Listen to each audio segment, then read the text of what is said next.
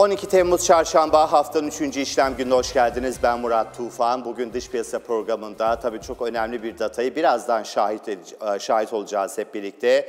ABD tarafından enflasyon verisi gelecek özellikle Fed'in oyun planını değiştirecek bir data olacak mı? Bunları tartışacağız. Programımızın yönetmenliğini sevgili Deniz Yeniçeri yapıyor ve editörümüz de sevgili Zeynep Çelik bildiğiniz gibi ve ABD tarafında yıllık tüfe rakamları geldi. %3'e geriledi. Önceki rakamda bakıldığında %4 yani çok ekstrem bir aslında azalış var. Amerika'da enflasyon rakamlarında efendim. Bu borsaları coşturacak bir gelişme. Çünkü Amerika'da enflasyon beklentinin çok altında geldi ve 3.1 olan beklenti %3 olarak açıklandı ve bakıldığı zaman da 4 puandan 3 puana gevşeyen bir Amerika'da enflasyon rakamı var. Aylık bazda da 0.2 oldu. O tarafta da bir aslında yumuşama görüyoruz. 0.3 olan beklenti. Hemen datalara bakalım. Sevgili Zeynep'ten rica edelim. Bir dolar endeksine baktığımız zaman muhtemelen geri çekilme devam edecek. Altını bu coşturacak. Endeksleri de yukarı itecek bir gelişme ki hemen baktığımızda dolar endeksi de söylediğim gibi aşağı geliyor. 101 nokta hatta 100'e kadar geldi. Muhtemelen bu 100 seviyesinin aşağısında bir Amerika'da dolar endeksine sebebiyet verecek. Küresel çapta doları zayıflatacak, altını yukarı itecek ve Amerikan borsalarında yukarı itecek bir gelişme riskli varlıklar bu tabloda yukarı gider efendim diyelim. Bakıldığı zaman Euro dolar paritesi haliyle Amerikan doları zayıflayınca hemen yukarı geldi. 1.10 seviyesinin üstündeyiz. Pound cephesinde de yine pound'un dolar karşısında güçlendiği bir anlık fiyatlama görüyoruz. Son dakikalar var diyor yönetmenim ama son dakikalar zaten söylemiş oldum girişte. Ee, süper biz böyle yayın heyecanında enflasyon verisini hemen sıcağı sıcağını paylaşalım diye ben girişte bir taraftan da Amerika'da enflasyon rakamları için e, istatistik sitesinde e, onun anlık olarak dataya bakıyoruz. Bu 10 yıllıkları aşağı çekecektir. Çünkü Amerika'da Fed'in bu Temmuz ayında 25 bas puan faiz arttırma ihtimali neredeyse e, %100'dü. E, yine yapacaktır muhtemelen bir enflasyon datasına bakarak Fed enfla- faiz kararından vazgeçmeyecektir ama sonrasında en azından daha yumuşak bir Amerika Merkez Bankası'nı görecektir. Piyasa uzmanları 10 yıllıklarda 4.07, 4.08'den 3.94'e kadar geldi. Zirveden bir düşüş görüyoruz. Muhtemelen 10 yıllıklar bu tabloda 3.80 bandına doğru gelecek ve e, bakıldığı zaman da dolar endeksi yumuşayacak, altın yukarı gidecek. E, tabii TL cinsinden gram altında muhtemelen yeni bir rekora gidecektir. Eğer varsa sevgili Zeynep Çelik'ten, editörümüzden e, d- dolar Türk lirası olan grafiği de bir alalım sonrasında. Ve Amerikan borsaları efendim yukarıda çünkü e, Amerika Merkez Bankası'nın bundan sonraki hikayesi için piyasa uzmanları biraz daha iyimser tarafa geldi. Çünkü Amerika'da enflasyon datası beklentilerin aşağısında açıklandı. %3 oldu. Peki bu devam edecek mi? Piyasa yansıması nasıl olacak? Onları konuşacağız. Birazdan Barış Can Yücel, Vişne Akademi Yönetim Kurulu Başkanı bu ekranlarda olacak. Dolar Türk lirasında da maalesef Bizim hikayemiz biraz daha farklı. Küresel anlamda dolar zayıflamasına rağmen Merkez Bankası'nın para politikasındaki duruşu TL tarafındaki zayıflamayı kademeli de olsa devam ettiriyor. 26.15'teyiz. Bizim borsa tarafında da 6386 puandayız ki bu gidişatta doların yukarı gitmesi tabii bizdeki enflasyon hikayesinin biraz daha gündemde kalmasını ve Borsa İstanbul'un da 7000 puana kadar projeksiyon sunan birçok uzman var efendim. Data çok sıcak ve bir kez daha bir hemen dolar endeksini verelim anlık fiyatları çünkü en önemli enflasyon verisi olarak okunuyordu bu. Ee, bakıldığı zaman Fed'in 20 Temmuz'da faiz kararı öncesi önemliydi efendim. Bakıldığı zaman 101.49'lardayız ve 1.10.60'larda da euro dolar paritesini karşılamış olduk. Birazdan detayları konuşmaya devam edeceğiz. Biz parabolik bir düşüş var. Yani enflasyon görünümünde e, zirvelerden sonra 7.5-8'lerden sonra ters parabolik de olsa burada bir düşüşü görüyoruz ve Amerikan dolar endeksinde düşüş 0.6 puana kadar gelmişti efendim. Şu anda 0.20'lerde birazcık böyle tepki hareketlerini görüyoruz. Çünkü şu anda Muhtemelen birçok pozisyon, birçok kontrat var. Karını alan hemen pozisyonu kapatıyor. Dolayısıyla anlık veriye baktığınız zaman dolar endeksinde kayıplar %1'e kadar ulaştı. Muhtemelen 100 seviyesi ve aşağısına gelecektir. Amerika'da enflasyon yazın birazcık böyle yazın etkisiyle mi hız kesti ve özellikle Fed'in %2'lik hedefine %1 kaldı. Peki bundan sonrasında Fed bu anlamda sadece %1 için gemileri yakmaya devam edecek mi yoksa bakıldığı zaman birazcık daha güvercin bir tarafa geçecek mi efendim konuşacağız. Veriyi de karşılamış olduk. Yani özetle endeksler yukarıda, altın yukarıda, dolar aşağıda olur ve Bitcoin ve altın da bu gidişatta pozitif bir görüntüye sebep olur diyelim. Anlık yansıma olarak e, gördüğüm tablo bu efendim. Birazdan konuşacağız tabii. Manşetlere dönelim der yönetmenim.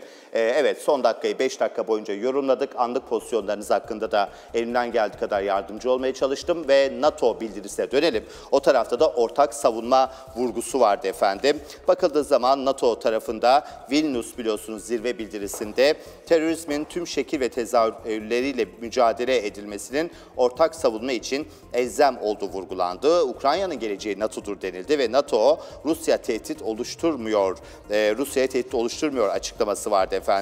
E, bakıldığı zaman ve özellikle Türkiye'nin e, bu anlamda İsveç'in de NATO üyeliğinin yolunu açacak olması da NATO herhalde zirvesinde en büyük kazanım olarak efendim gözüküyor diyelim. Cumhurbaşkanı Recep Tayyip Erdoğan Amerikalı lider mevkidaşı Joe Biden'la bir araya geldi ve e, NATO devlet hükümet başkanları zirvesi sebebiyle Litvanya'nın başkenti Vilnius'a bulunan Cumhurbaşkanı Recep Tayyip Erdoğan, ABD Başkanı Joe Biden'a bir araya geldi. Erdoğan, ABD ile stratejik mekanizma kapsamında sıranın devlet başkanları düzeyinde istişarelere geldiği kanaatinde olduğunu belirterek ABD Başkanı Joe Biden'a NATO zirvesi kapsamında yaptığı görüşmeyi bunun ilk adımı olarak efendim gördüğünü kaydediyor Sayın Cumhurbaşkanı ve Joe Biden görüşmesine ilişkin görüşmemize, ikili ilişkilerimize ve güvenlik alanındaki işbirliği imkanlarımızı ele aldık. Temaslarımızın ülkemiz için hayırlara vesile olmasını diliyorum dedi. Beyaz Saray'dan da bir açıklama geldi.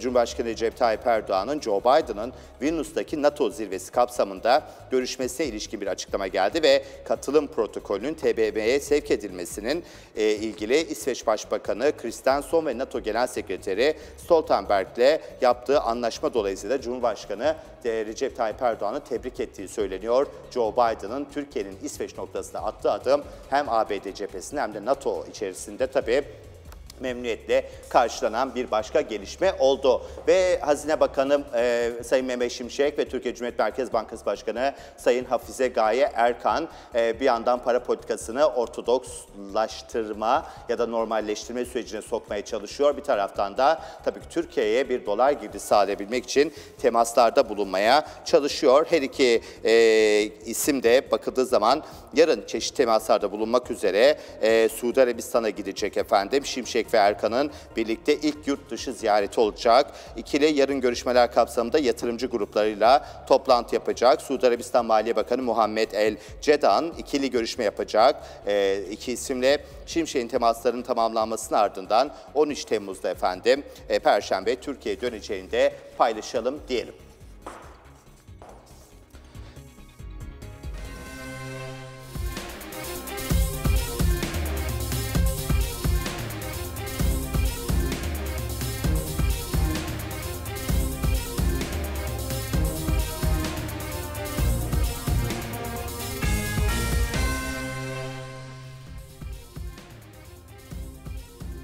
Seans için notlarla devam edelim. Seansın içerisinde de oldukça önemli notlar var. Yeni Zelanda Merkez Bankası sanki ABD enflasyon datasını tahmin ederek Fed'in biraz daha sıkılaşmasına dair beklentilerin belki yumuşak olacağı bir dönemde faiz artırım serisine efendim ara verdi. RBNZ Ekim 2020'den bu yana yaptığı e, faiz artışlarına ara verdi ve faiz oranlarını %5.5'te sabit tuttu. Piyasa beklentileri faizlerde zaten bir değişiklik olmayacağı yönündeydi. Banka faiz oranlarını 2020 2021 yılı Ekim ayı sonrasında üst üste 12 toplantıda toplamda 525 bas puan arttırmıştı efendim ve bu anlamda e, faiz artışlarına 12 ay sonrasında ara veren bir Yeni Zelanda Merkez Bankası'na şahit olduk RBNC tarafından. IMF'den de İngiltere, İngiltere'de faizler uzun süre yüksek kalabilir uyarısında bulundu. Dün İngiltere cephesinde enflasyon %7.3 olarak açıklanmıştı. Aynı zamanda bakıldığında İngiltere'de enflasyon katı bir hal alıyor ve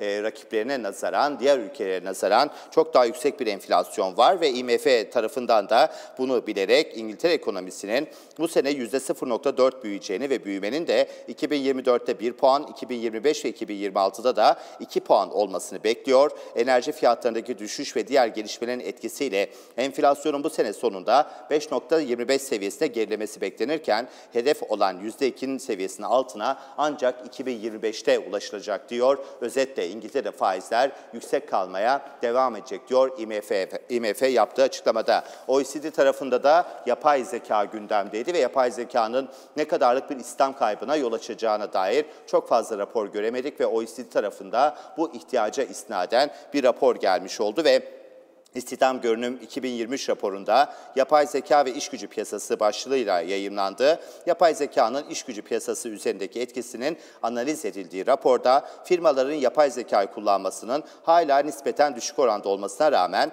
teknolojideki hızlı ilerlemenin düşen maliyetlerin ve yapay zeka becerilerine sahip çalışanların artışı OECD ülkelerinde bir yapay zeka devriminin eşiğinde olabileceğini gösterdiği aktarılıyor. Raporda yapay zeka etkisinin dikkate alındığı zaman en yüksek otomasyon riski altında sınıflandıran mesleklerin istihdamının yaklaşık %27'sini oluşturduğunu söylüyor ve dolayısıyla da önemli bir ölçüde insana gereksinimi azaltacak bir gelişme olarak okuyor OECD yapılan açıklamada. Çin Devlet Başbakanı Xi'den de daha fazla açılıma e, çağrısı geldi efendim ve bakıldığı zaman yabancı işbirliğine odaklanılması için daha fazla açılması çağrısında bulundu. CCTV'ye yaptığı açıklamada reformu derinleştirme konulu bir toplantıda yeni bir kalkınma modeli oluştururken yapısal açılımı teşvik ederken döviz ve yatırım, ticaret ve finansal yenilik gibi işbirliği alanlarına odaklanmamız gerekir diyor. Xi Jinping yaptığı açıklamada efendim. Dolayısıyla da Çin'in büyümek için çok daha büyük adımlar atması gerekinde, e, gerektiğinde piyasa uzmanları diyelim. Evet dış şirket haberlerimiz var der yönetmenimiz e, sevgili Deniz. Hemen orayı da kontrol edelim.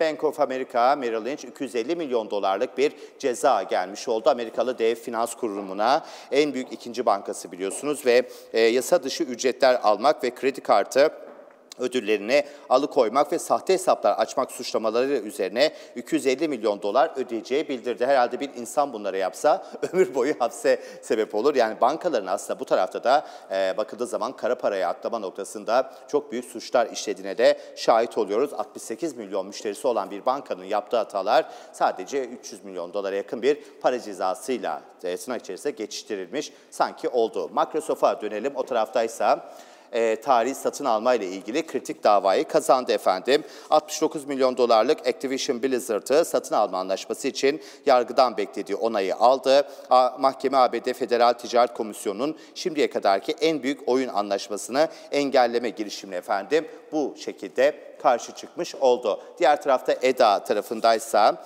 bakıldığı zaman Suudi Arabistan'ın merkezi saklama kuruluşu EDA bizim merkezi kayıt kuruluşu arasında bir mutabakat zaptı imzalandı efendim ve menkul kıymet ve yatırımcı hizmetlerindeki tecrübelerin paylaşımı, işbirliklerinin artırılması ve yenilikçi uygulamaların entegrasyonu desteklemesi maksadıyla İstanbul'daki merkezi kayıt kuruluşu ve e, Suudi Arabistan'ın merkezi e, kayıt kuruluşu arasında mutabakat zaptı imzalandı. İngiltere'nin büyük bankalarına da stres testinden geçtiğini görmüş olduk. Kredilerin %75'ini veren en büyük 8 bankanın gerçekleştirdiği stres testini açıkladı ve İngiltere Merkez Bankası Bank of England, İngiltere'nin en büyük 8 bankasının tamamının ciddi bir ekonomik krize karşı dayanıklılıklarını inceledi ve e, dayanırlar dedi. Yani bu stres testine geçtiklerine dair bir kanaat getirdi. Hemen konumuza gidelim. Vişne Akademi Yönetim Kurulu Başkanı Barış Can Yücel bu ekranlarda olacak. Her çarşamba olduğu gibi hazır Amerika'da enflasyon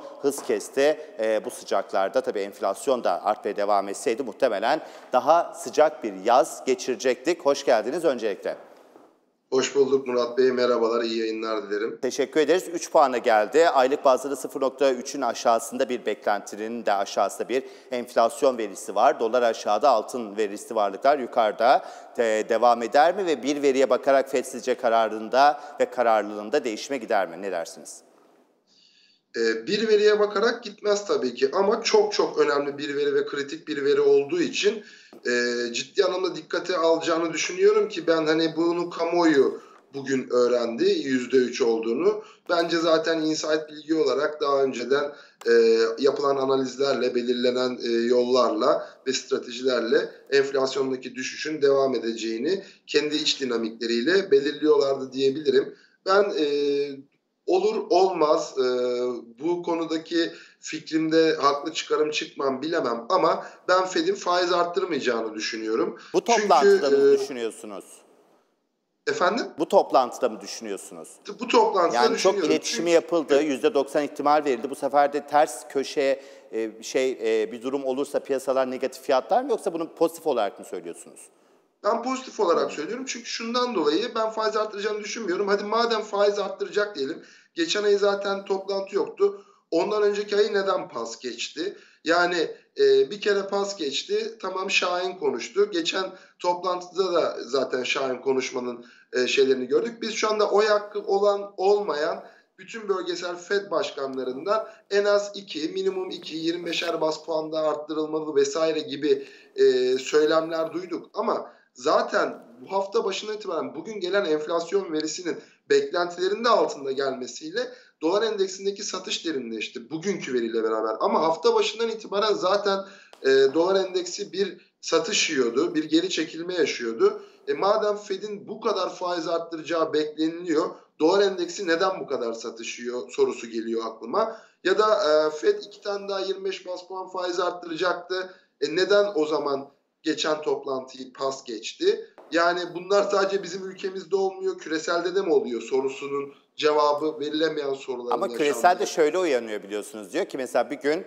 e, tersinden kalkıyor. Diyor ki işte iki tane daha faiz artışı var. İşte yani gerçekten Allah kahretsin yani iki tane daha gelecek ve piyasalar işte yerle yektan olacak. Ondan sonra bir gün uykusunu güzel alıyor. Böyle sabah güzel bir kahvaltı yapıyor ve diyor ki aa çoğu gitti azı kaldı. Sadece iki tane faiz artışı olacak. Dolayısıyla da bugün iyi günümüzden başlamamız gerekir. Bu haleti ruhiye durumu e, sürekli değişkenlik gösteriyordu. Dediğiniz gibi 102'lerden dolayı bir aslında düşüş vardı. Bunu önden sanki bir fiyatlaması görüyoruz. Şu an dolar endeksi muhtemelen yüzün aşağısına gelecek. E, bu bir e, devamlılık sağlayacak mı ama bizim dolara baktığımız zaman da burada bambaşka bir hikaye de var gibi.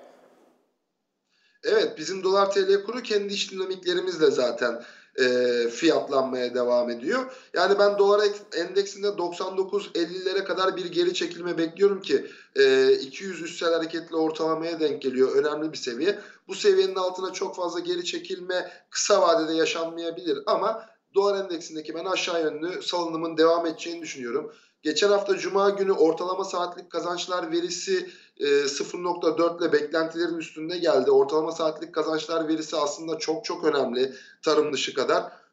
Çünkü ortalama saatlik kazançlar verisinin artması kişisel gelirleri arttırıyor. Bu da kişisel giderleri arttırıyor. Mallara olan talebi arttırıyor. Mallara olan talebin artması tabii ki enflasyonu biraz etkiliyor. Ama aynı zamanda arzı da arttırdığından dolayı büyümeyi de etkiliyor. Bence kritik ve öncü bir veri. İşsizlik oranında beklentiler dahilinde ve istihdam piyasasındaki biz daralmayı tekrardan görüyoruz. E, FED şu anda zaten bu kadar sıkı para politikasını yapmışken, daha önce vurgulamışken borçlanma maliyetlerini arttırarak yapacağız. Faiz arttırmayı düşünmüyoruz. 3 toplantı önceye dönersek FED faiz arttırmayı bundan sonra düşünmüyoruz dedi. O zaman kendi söylediği cümleleri mi çiğnemeye başlayacak Powell? Bu ne kadar güven verecek 2024 Kasım'da ABD seçimlere yaklaşırken vesaire yani kafada binlerce soru var ve bu soruların cevaplarını ararken ben ABD'nin de artık sözlü yönlendirmelerle süreci götüreceğini zaten 25 bas puan iki tane arttırılmalı denile denile denile denile arttırılacak kadar bir etki yaratıldı diyebilirim. Hani arttırılmasa da olur. Ben arttırılacağını düşünmüyorum. Arttırılırsa da e, çok şaşırmam ama e, benim düşüncem bu yönde. Ben dolar endeksinde biraz daha geri çekilme bekliyorum. Bir miktar ters köşe özellikle euro dolar paritesinde bir e, 10 60'ların üzerinde bir tutunma olursa o zaman euro dolarda ekstrem biz yukarı yönlü hareketler görürüz. Böyle bir hareket olmazsa da e, euro dolarda hafif kar satışları olabilir. Ondan dolayı ben sözlü yönlendirmelerle devam edeceklerini, kredi sıkılaştırmalarına gideceklerini ve borçlanma maliyetlerini arttırarak sıkı para politikasına faiz arttırmadan devam edeceklerini düşünüyorum. Ben de bu toplantıda 25 bas puan faiz artırılacağını ancak bir miktar enflasyon ve diğer işaretlerini yapacağını düşünüyorum. Bir kahvesine iddiaya girelim isterseniz.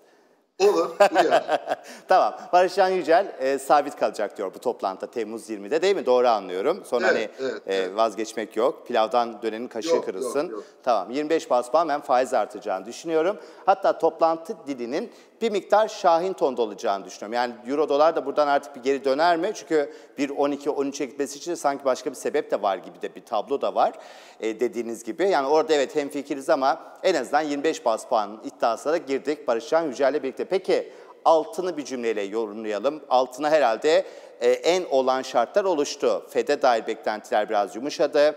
Dolar endeksi hafif aşağı gelme eğiliminde. 10 yıllıklar muhtemelen 3.80 doğru törpülenecek ne dersiniz?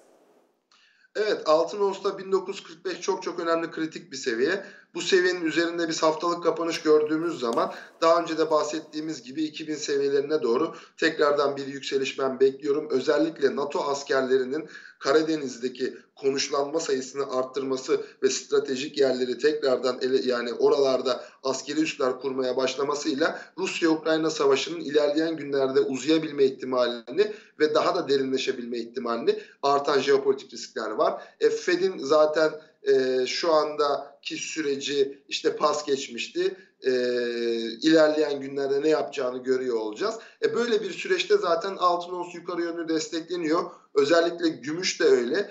Geçen yayında fütüristik bir cümle kurmuştuk. Onunla ilgili yeni bir şey daha kurmak istiyorum. Konu başka. Ben gram gümüşe dikkat çekmek istiyorum. Gram altında 1750'lerin üzerini hala hedefliyorum 2000 seviyelerini 2023 seviyesi bitmeden. Ama gram gümüşte de 54 seviyelerine 27 TL bandı aşılırsa 54 seviyelerini bekliyorum ki bu kadar alım gücünün düştüğü, gram altının bu kadar yükseldiği ve TL'nin bu kadar değer kaybettiği bir dönemde önümüzdeki yıllarda düğünlerde gümüş takılmaya başlanabilir. Tam gümüş, yarım gümüş, çeyrek gümüş gibi e, gümüş takılabilir. Bunu da benim bir fikrimdir ortaya attım. Bunu da şimdiden söyleyeyim isterim. Gram gümüş de yatırımcısını çok sevindirecek diyebilirim. Özellikle 27 lira seviyesi aşılırsa 54'lere doğru sene sonuna doğru olmadı. 2024'ün ikinci çeyreğine doğru biz gram gümüşü daha çok konuşuyor olabiliriz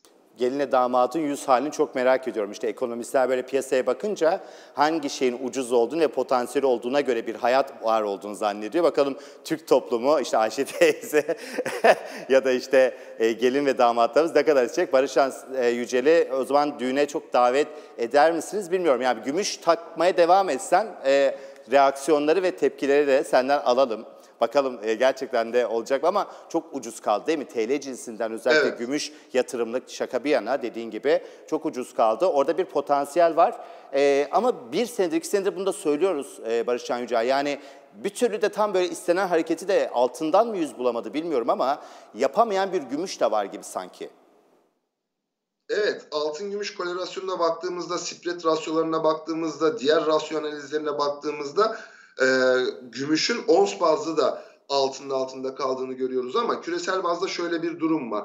Altın ons e, all time high'ı denedi, aştı, tekrar denedi. 2-3 defa görmüş ve denenmiş bir 2030-2070 bandı var. Fakat ons bazlı gümüş hala en yüksek seviyesini tekrar ikinci kere test edemedi. Şu anda eğer ons bazlı gümüşün 35 dolar 50 dolar bandına gelmesi durumunda gram gümüşü ben tahmin dahi edemiyorum ki dolar TL kurundaki yukarı yönlü momentum hala korunuyor. Böyle bir senaryoda gram gümüş çok geride kaldı ve e, 1 bölü 12 oranı olması gerekir denir. Bu her zaman olmak zorunda değil ama e, altına rağbet altına almak için fiyatı yükseldikçe gram altının gram gümüş emtia bazında özellikle fiziki alınabilecek külçe olarak kiloluk bazda satılıyor tabii ki. Gram gümüş şu anda işin esprisi bir yana satılmıyor tabii ki. Ama kiloluk bazda gümüş Evet. ben ciddi anlamda yatırım olarak e, kullanılabilecek Hı hı. önemli bir araç olarak görüyorum. Çünkü bankalarda gümüş spreadleri çok yüksek, Evet. altın spreadleri çok yüksek. Fiziki altın alınabiliyor ve Hı hı. fiziki gümüş de alınabiliyor. Ondan dolayı altın alamayan Evet. yatırımcı potansiyeli gümüşe yönelme ihtimali çok yüksek. Ki olmaya da devam ediyor söylemiş olduğun gibi. Bunu da belli işte Kapalı Çarşı'daki değerli büyüklerimizden de duyuyoruz. Vişne Akademi Yönetim Kurulu Başkanı Barış Can Yücel bu ekrandaydı. Bu hafta da gümüşü öne çıkardı ve özellikle Joe Biden'ın Vilnius'taki zirve sonrasında Sayın Cumhurbaşkanı ile alakalı bir analizi daha doğrusu yorumu var. Erdoğan'la NATO zirvesi kapsamında tekrar bir araya gelmek harikaydı diyor. Diğer tarafta Dimitri Medvedev ise Batı'yı suçladı ve bu bir çıkmaz sokak. Üçüncü Dünya Savaşı yaklaşıyor dedi. Rusya cephesinde diğer taraftan Sayın Cevdet Yılmaz, Sayın Bakan diyor ki para politikasında sıkı bir yaklaşıma doğru bir değişim söz konusu dedi ve tek haneli enflasyon vurgusu yaptı diyelim. Küresel bakışta devam edelim.